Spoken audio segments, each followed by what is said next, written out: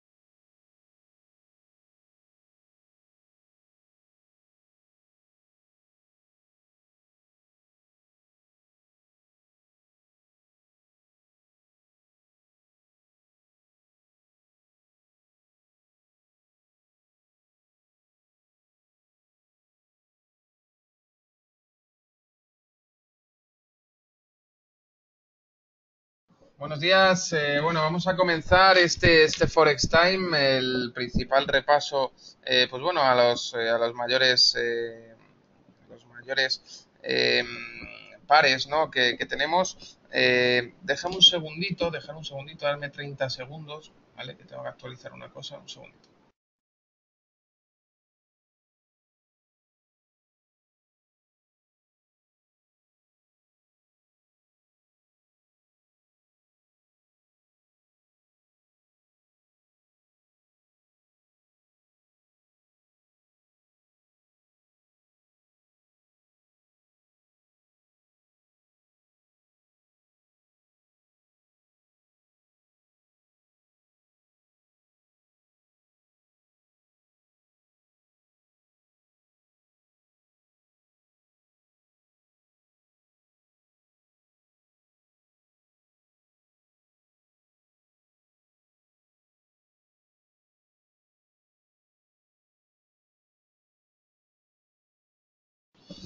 Vale, eh, comentar como decíamos, eh, pues bueno, eh, las principales divisas.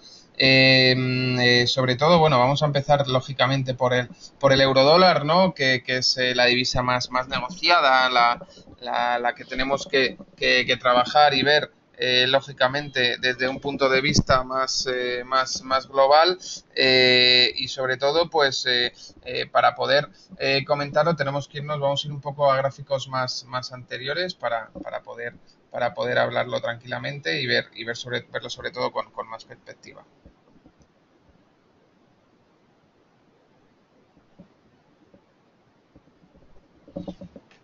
Si nos vamos directamente a la gráfico diario.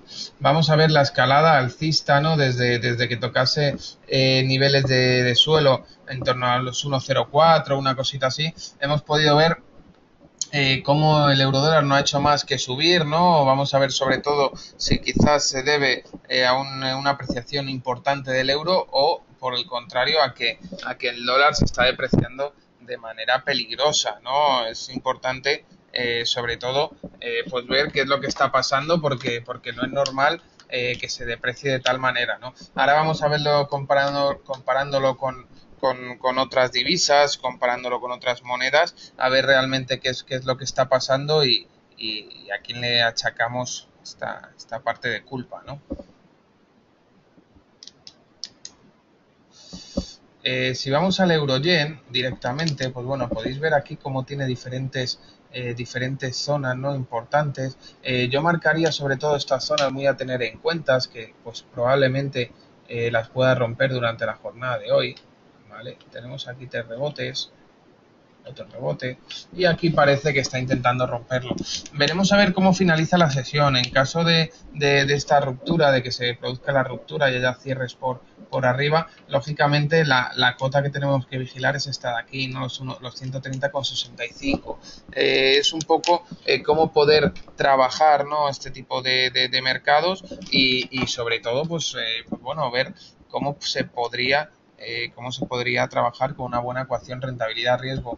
En caso de cierres por encima de esas zonas, eh, lógicamente eh, trabajaríamos con posiciones largas. recordar sobre todo que el yen es un activo mm, que, bueno, que tiene una correlación muy alta con, la renta variable, por lo cual ahora mismo se está comportando pues, pues como veis, ¿no? Con, con una subida importante de, debido a las subidas que están produciendo que se están produciendo que se está produciendo hoy no y, lógicamente pues eh, vemos como este par eh, pues prácticamente se mueve muy a la par no aunque sí que es verdad que notamos hemos notado unas, unas descorrelaciones eh, sorprendentes durante las semanas las semanas pasadas no cuando cuando realmente veíamos que, que parecía que que se estaba descorrelacionando un poquito más, ¿no?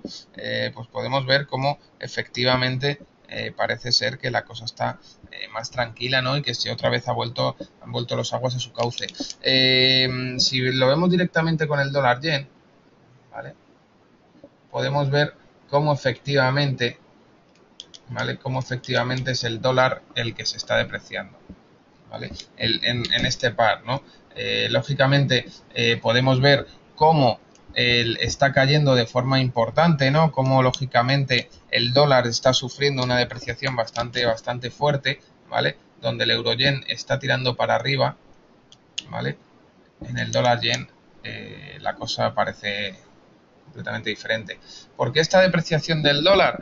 Pues eh, se pueden deber a muchos factores. Eh, lógicamente, pues bueno, todo parece, todo parece apuntar, ¿no? Que que, está muy subestimado, ¿no? El dólar, eh, que cuando hablábamos de la paridad hace unos meses eh, no convenía quizás eh, tener un dólar tan fuerte para la economía de Estados Unidos, pero es que a partir de ahí, pues bueno, ha sido un visto y no visto. Cuando nos hemos querido dar cuenta, hemos visto el euro dólar en 1.15 y ahora pues prácticamente nadie se acuerda de, del objetivo de la paridad que, que, que comentamos, ¿no? Por lo cual, pues bueno, es algo muy, muy a tener en cuenta, es algo que que debemos tenerlo, tenerlo presente. Ahora mismo el dólar está muy, muy débil, es una de las divisas más débiles.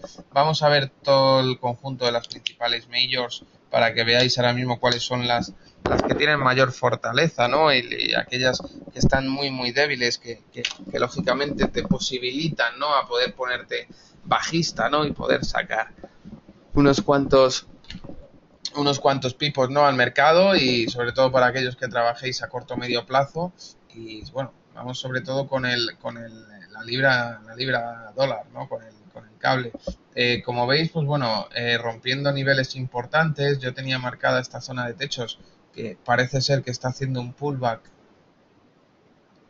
Parece ser que está haciendo un pullback aquí vale después de tener la ruptura vale que se produjo pues, hace unas cuantas eh, sesiones, ¿no? Incluso yo diría que incluso eh, el viernes pasado, como veis, se produjo, una ruptura bastante importante, ¿vale? Ha vuelto otra vez a la misma zona, volvió otra vez a la zona donde se frenó la ruptura y tenemos aquí un velón, eh, un velón clarísimo un velón clarísimo donde, donde parece ser que, que la libra ha pegado un pequeño desplome ¿no? respecto, respecto al dólar. Si comparásemos la libra con, con el euro, por ejemplo, con, con, otros activos que ahora mismo están, están más fuertes, eh, deberíamos verlo bastante más claro. Actualmente, eh, pues como veis, están el precio en zonas bastante relevantes, ¿no? que, que junto con, con, el euro yen, que os he comentado, ¿vale? ahora mismo estamos en zona de, de, de tenerlo. Estos dos gráficos yo los tendría abiertos ahora mismo porque te pueden dar posibilidades de operativa muy, muy claras. Si vamos al euro con el canadiense, podemos ver estas caídas tan fuertes que se, que se produjeron, ¿no? Eh, probablemente el día de que suelen, que suelen publicar inventarios ¿no? de petróleo en Estados Unidos o, el viernes, ¿no? Que también suelen publicar datos, datos relevantes, datos importantes, ¿no? Macroeconómicos, IPCs, etcétera, etcétera, eh, pues, eh, pues puede ser debido, debido a eso. Como veis ahora mismo se ha estabilizado, ¿no? En, en esta zona, marcando un triángulo muy claro un triángulo muy claro por aquí, ¿vale? Con diferentes, con diferentes apoyos.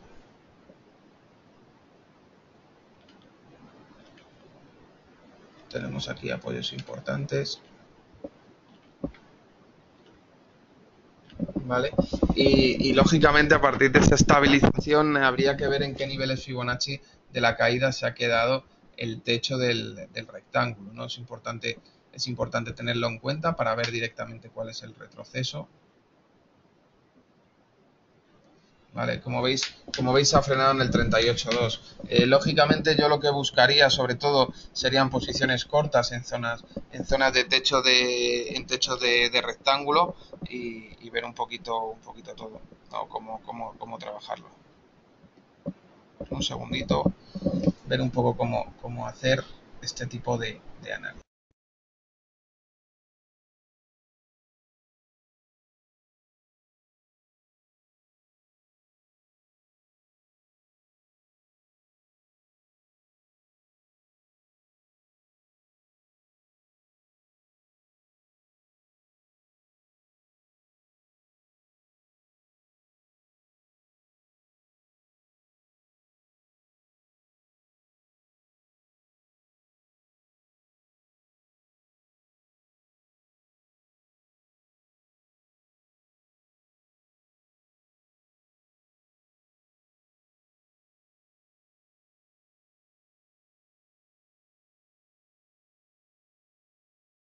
Si vamos directamente, si vamos directamente al, dólar con el canadiense, por compararlo un poco con el, eh, con el euro, ¿vale? Como veis, esta caída importante, ¿vale? Esta, esta apreciación tan fuerte del dólar canadiense, el euro la consiguió estabilizar con este rectángulo. A lo que me refería es que, por ejemplo, vemos el dólar como después de toda esta caída, ¿vale? En vez de estabilizarla, como ha hecho el euro, en torno, vamos a trazar un fibo para que lo veáis claro.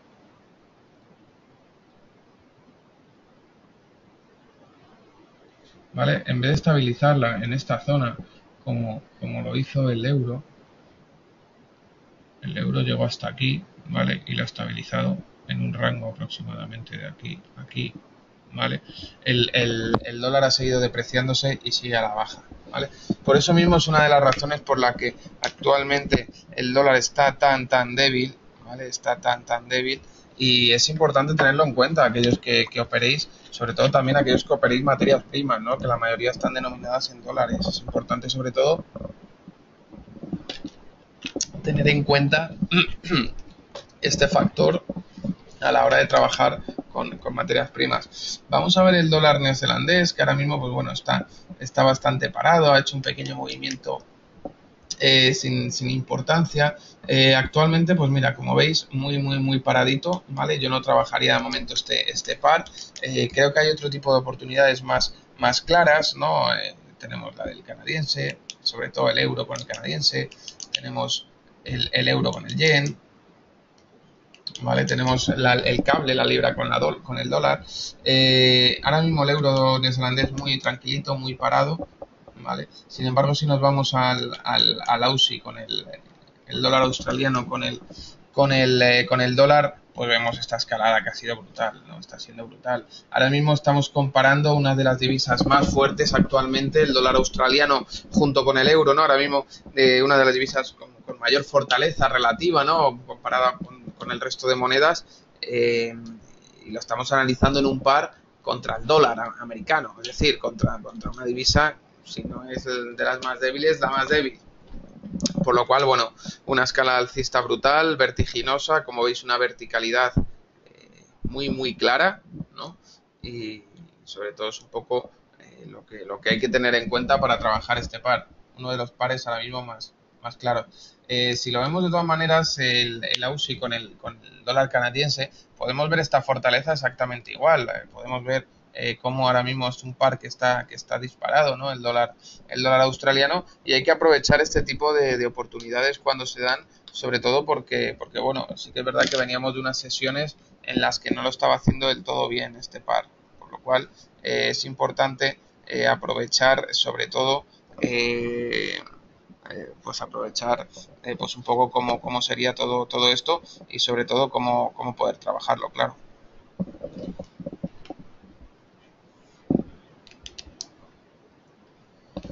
El euro con el franco suizo, pues el mismo comentario que, cuando trabajamos el euro con el dólar neozelandés, muy tranquilo, muy parado. Eh, a mí el franco suizo no es dentro de mi devoción trabajarlo, eh, pues porque bueno, no se suele mover demasiado y creo que eh, suele haber otras oportunidades más interesantes.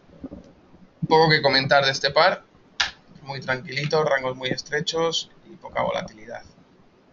Si nos vamos a la libra con, con, el canadiense, podemos ver estas caídas tan fuertes y cómo ha recuperado, ¿no? Que dice mucho, que dice mucho de, de la libra, cómo recuperó toda esta caída, ¿no? Ahora mismo se esté pegando un castañazo, es el castañazo del día, como quien dice, ¿no? La, la, la libra, ¿no? La libra esterlina, y, pero bueno, es, es, muy loable ver cómo ha recuperado toda esta caída, toda esta caída previa eh, que, que, que, se produjo, ¿no? El, el, día, el día 12. Vamos a ver el, el Aussie con el neozelandés. Como veis, es que la mayoría de pares con el dólar australiano lo están haciendo de pena, de pena. Eh, sí que es verdad que el dólar neozelandés tampoco es que sea eh, un par que ahora mismo tenga mucha fortaleza, pero, pero bueno, eh, en ese sentido va ganando, va ganando por goleada porque, porque bueno, es un par muy, muy, muy que me cambie de gráfico, es un par muy, muy débil, el, muy débil, ¿no? Si, si hablamos del neozelandés, pues un poco, pues como veníamos hablando del dólar, del dólar americano, como veis es un par prácticamente calcado, ¿vale? Mirad, este es el, el AUSI con, con el dólar neozelandés y este es el AUSI con el dólar americano. Es decir, eh, la correlación es altísima, ahora mismo mucha fortaleza para, para el dólar australiano, ¿no? Sobre todo, y, y muy débiles, muy débiles eh, tanto el neerlandés, el kiwi, como, como, el dólar americano, ¿no? Ahora mismo se encuentra en una zona muy, muy débil eh, y, bueno, eh, se están depreciando de manera, de manera importante, eso, eso, bueno, hay que tenerlo en cuenta a la hora de, de operar el mercado Forex. Eh, esto es un poco el repaso ahora mismo de lo que es para que os hagáis un mapa, ¿no? Conceptual de de las divisas que tienen ahora mismo actualmente mayor fortaleza y aquellas que están que tienen una debilidad importante. Sobre todo es fundamental para, para la hora de operar el mercado forex, es fundamental también para aquellos que operáis en materias primas y es un poco lo que es el mapa eh, ahora mismo de cómo está el mercado en, estas, en esta, altura de sesión, ¿no? Eh, voy a dejar de todas maneras, antes de finalizar el, seminario, voy a dejar un par de minutitos para aquellos que tengáis alguna duda, me la podáis poner por el chat y la analicemos tranquilamente. Y si no, pues bueno, eh, cualquier duda que podéis ir teniendo a, la finalización del seminario, pues podéis llamar a la oficina, mandarnos un correo. En ese sentido estaremos encantados de atenderos. Y, nada, lo dicho, dejo un par de minutitos y cualquier cosita me vais, me vais diciendo por el chat, ¿de acuerdo?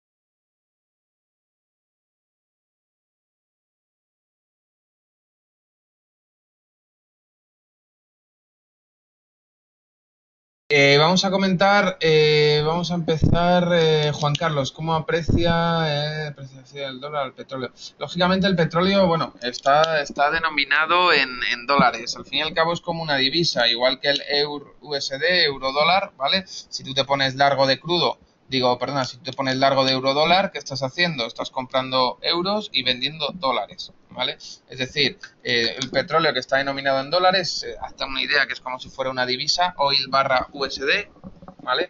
Eh, entonces, lógicamente, si los dólares se deprecian, ¿vale? El petróleo iría al, contrario. ¿Vale? Imagínate que es exactamente igual a, a, una divisa, ¿vale? Si te estás poniendo largo de uno, te pones corto de otro. Entonces, por lo cual, si, si está bajando, si está bajando la, la, divisa secundaria, por decirlo de alguna manera, con el eh, que en este sentido sería, sería el dólar, ¿vale? Imagínate que tuvieras una divisa oil USD, ¿vale? Eh, al estar depreciándose el dólar, ¿vale? Todo lo que sea la operación contraria sería, sería beneficioso. Pero es un factor a tener en cuenta, no es una condición, no es un determinante. Es decir, es una condición, pues igual que el oro, el precio del oro depende de ciertas cosas, entre una de ellas es la inflación, puede verse afectado, pero, pero no, no significa que porque se deprecie el dólar el petróleo se vaya en una dirección clara o no. Eh, pero, pero sí que es, sí que es, sí que es interesante. En ese sentido estamos viendo subidas lógicamente del crudo, precisamente por eso también, durante, durante la mañana. Eh, Miguel, me hablas del volumen. A ver, el mercado de los CFDs es válido. A ver, es válido el volumen eh, no en los CFDs, sino es válido el volumen eh, sobre todo porque el CFD replica replica un subyacente, ¿no? Lógicamente, si tú calculas el volumen de ese subyacente y el CFD tiene una réplica muy buena de dicho subyacente, también es válido, lógicamente. El CFD al ser un producto OTC over the counter, lógicamente el, el, volumen que puedas, que, que puedas tener eh, pues te da un poco te da un poco igual ¿no? en, ese, en ese sentido pero teniendo teniendo el bueno el, el que me el que me comentabas el de los futuros eh, pues lógicamente eh, al tener una buena réplica, que nosotros en este caso lo, tenemos gracias a la tecnología que tenemos SOR, Smart Order Root, eh, te va a ser completamente válido sin, ningún tipo de problema, lógicamente. Si trabajas así, el que es engañoso sobre todo es el de el, volumen de MetaTrader, ¿vale? El volumen de MetaTrader es un, es un volumen que es, es de ticks, ¿vale? Por decirlo de alguna manera. Cada vez que se pega un tick para arriba o para abajo, pues ese volumen eh, te lo marca como, como un 1, si hay dos ticks, un 2, si hay tres ticks, 3. Entonces al final de la vela te dice más o menos cuánto es y en función de eso te dibuja el volumen. Ese es engañoso, ¿vale? No tiene, la verdad que no tiene ningún sentido. Eh, pero, pero es un poco eh, como, como, ¿cómo se dice? A ver, última pregunta.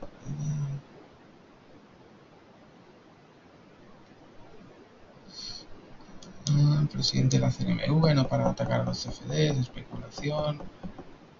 Por esa regla de tres tendrían que quitar los casinos. A ver, lógicamente, esto es como todo, Miguel. Eh, lógicamente es un producto eh, pues que, funciona con apalancamiento. Eh, Miguel, el apalancamiento puede ser bueno y puede ser malo. lógicamente, pues bueno, es algo que te permite a aquellos inversores que tenéis poco capital, ¿vale? Poder trabajar con, capitales un poco más grandes. ¿Qué es lo que pasa? Que hay una delgada línea en la que entra en juego la, la, oportunidad y la avaricia, ¿no? Entonces, eh, lógicamente, eh, pues bueno, es un, es un método muy bueno para aquellos que tenemos poco capital, tener acceso a mercado, tener acceso a tiempo real, tener acceso a un broker, tener acceso a diferente formación, es muy bueno. De ahí a que los prohíban, me cuesta mucho creerlo, me cuesta mucho creerlo. Tú mismo eres el que decides eh, que quieres abrir una cuenta, tú eres el que decides y el que sabes que tienes productos con cierto, con cierto, con cierto riesgo y tú eres el que, el que sabes que, bueno, en nuestro caso tenemos productos con apalancamiento y productos sin apalancamiento. Tú decides cuándo apalancarte, si te apalancas o no, cómo lo haces, tú eres consciente en todo momento y, sabes y sabes cómo hacerlo. Es una herramienta que yo creo que vamos, que no creo que, lo prohíban porque, porque la verdad que el acceso al mercado que puedan tener los clientes retails a este tipo de mercado, la verdad que es muy muy bueno y, bueno, yo creo que hay otro tipo de cosas mucho más arriesgadas, como tú bien has dicho, eh, pues bueno, tendrían que prohibir los casinos, tendrían que prohibir incluso los warrants incluso los warrants, te diría que es un producto que no parece tan, no tiene una publicidad no tan tan eh, tan arriesgada como pueda parecer. Habría que preguntarse sobre todo también por qué no lo tiene, ¿no? Eh, lógicamente tú cuando compras un warrant eh, o vendes un warrant pues estás dejando una pequeña comisión a este tipo de reguladores, ¿no? por lo cual eh, es lógico que, no tengan esa apariencia de, riesgo como puede tener o que no la quieran dar o pretendan dar. Eh, lógicamente el CFD al ser un mercado OTC eh, pues quizás es un poco más difícil que le puedan meter mano, que puedan regular, que puedan llevarse incluso ese tipo de reguladores algún tipo de comisión o tasa ¿no? por, por pasar por ellos, por lo cual lógicamente es, es escapa un poco más fuera de su control y entiendo que, le puedan dar mayor importancia ¿no? Eh, en vistas de proteger al consumidor. Eh, ahora bien, eh, el consumidor cuando trabaja este tipo de productos lo trabaja conscientemente y es consciente de todo, ¿no? con lo cual yo creo que no le deberían de dar mucho más mucho más bombo y, a mí la verdad es que me parece una herramienta estupenda no entonces eh, probablemente pues en algún país lo hayan prohibido o hayan prohibido algún tipo de publicidad que, hayan que hagan sobre ello no sé eso, eso ya cada, cada regulador eh, trabaja de, de una manera pero la verdad que es un producto muy complejo que muy completo también, ¿no? Al mismo tiempo, que te permite flexibilizar tu operativa, ¿no? Hacer algún tipo de cobertura con otro tipo de, productos que tengas, con acciones, con fondos, eh, te puedes poner bajista. Es un producto muy flexible que, que aquellos que lo entendemos, que lo conocemos, tiene muchas oportunidades de trabajar, pero, pero bueno, no todo el campo es orégano, siempre, siempre hay algún locatis, como, como quien dice, que pueda, que pueda tomarse esto como, como un casino, como una casa de apuestas, cosa que no lo es y que no comparto, ¿no? Pero, pero ya sabéis que, que, bueno, que hay, hay de todo, ¿no? En esta vida y te puedes tomar esto, abusar, ¿no? De, del producto y lógicamente, pues cuando abusas, pues como, como el ludópata cuando va al casino o como el que está enganchado a las apuestas deportivas o yo esto no lo llamo jugar, sino lo llamo invertir y pero al fin y al cabo cuando juegas con o inviertes con, con, dinero y lo haces sin cabeza, pues bueno, pues, pues, al final puede pasar lo que todos sabemos. Pero, pero por lo demás yo, lo veo algo muy, muy, muy bueno, sinceramente, yo conozco el producto y, me parece muy completo, muy flexible y sobre todo eh, muy accesible al, al consumidor que, es lo que, los que, lo que queremos, ¿no? ¿no? que todo lo hagan entre las manos fuertes, sino que también podamos tener nuestro, nuestro trocito de pastel y, la verdad que este producto te lo, te lo garantiza. Así que, mm, pues nada, oye, gracias a ti Miguel por, por todo y, nada, eh, lo dicho, cualquier cosa, cualquier duda que vayáis eh, teniendo, no dudéis en, preguntarnos, llamar a la oficina, comentarnos, mandarnos un correo. Estaremos encantados de, atenderos y, nada, me despido deseando muy, muy buen día, sobre todo que tengáis muy buena semana y, muy buen trading y, nada, agradeciendo sobre todo vuestra, vuestra asistencia, ¿de acuerdo? Así que nada, un saludo desde la sala de seminarios de, de XTV.